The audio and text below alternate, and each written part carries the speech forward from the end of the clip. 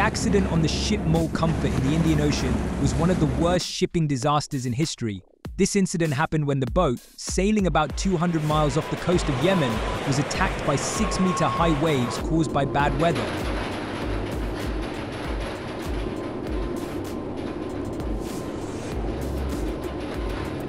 MOL Comfort is a container ship built at the Mitsubishi Heavy Industries Nagasaki shipyard, Japan, commencing in 2007 and began sailing the seas in March 2008 under the name APL Russia. On June 11, 2013, she changed her name to MOL Comfort. When this ship was ready to leave Singapore, it was given command by a very experienced and professional crew. The captain is a 58-year-old Russian with 19 years of experience in the industry and previously operated MOL Comfort's sister ship, the French APL. Before departure, the vessel underwent the necessary stability calculations at the port of Singapore, the results of which met the requirements. The MOL Comfort could carry more cargo than its capacity at the time and was relatively young and well maintained. The ship departed Singapore at 7 p.m. on June 11th, heading west to Saudi Arabia, the vessel carries 7,041 shipping containers and a competent crew of 26.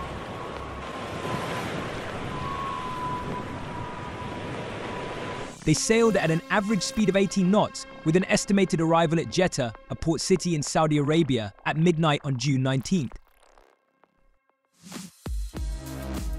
However, they encountered bad weather and on June 17th, rough sea conditions attacked them. Although they had followed the weather's route advice and adjusted their course, waves as high as 6 meters and strong winds of up to 38 knots caused the ship to rock and roll in a storm at 7 a.m. The wave reached 7 meters, sprayed the deck, and hit the ship's side hard.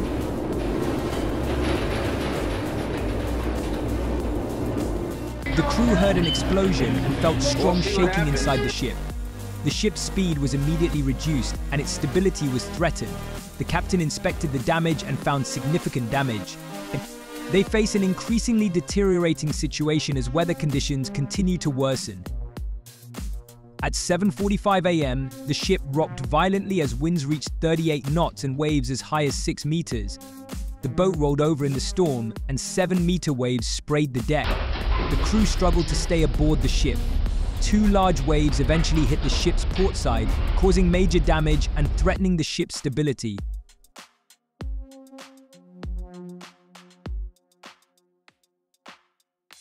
The situation worsened as the ship tilted further and the hull buckled due to the pressure of the water monopolizing inside.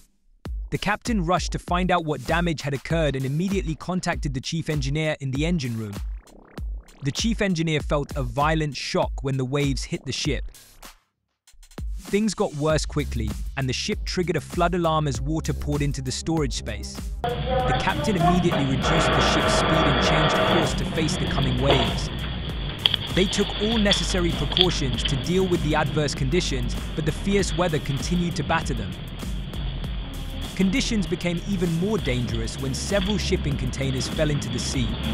The captain finally decided to send out a Mayday distress call at 9 in the morning the Yantian Express, 24 nautical miles away, immediately responded to the emergency call and headed to the scene. The captain called all the crew to the muster point to prepare to abandon the ship. Although the situation was frightening, the crew had practiced emergency scenarios like this before and knew their roles well. They boarded a lifeboat, although their journey became uncomfortable, and some crew felt seasick within half an hour. Yantian Express arrived at the scene and ordered them to climb over the cargo net to escape. The climb was dangerous and hampered by the threat of partially submerged shipping containers. The crew from Comfort struggled as they climbed onto the net, also covered in oil. Some slipped and fell into the sea, struggling to stay above the surface. High waves hit them, and shipping containers kept appearing around them, endangering their lives.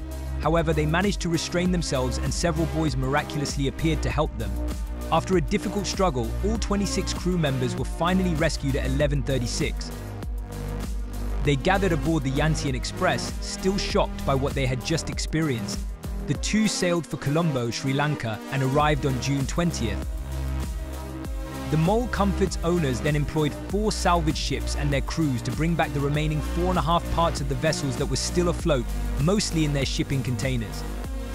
However, this effort was hampered by bad weather, with winds reaching 40 knots and waves as high as 8 meters.